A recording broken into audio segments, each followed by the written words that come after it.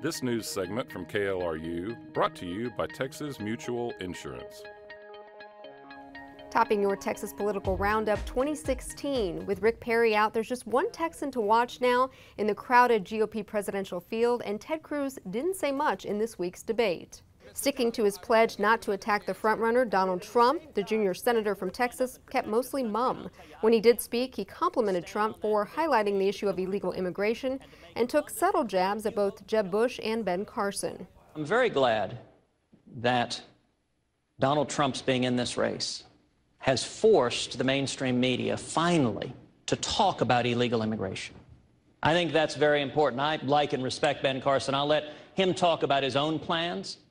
But I will say this the natural next question that primary voters are asking after we focus on illegal immigration is okay, what are the records of the various candidates? And this is an issue on which there are stark differences.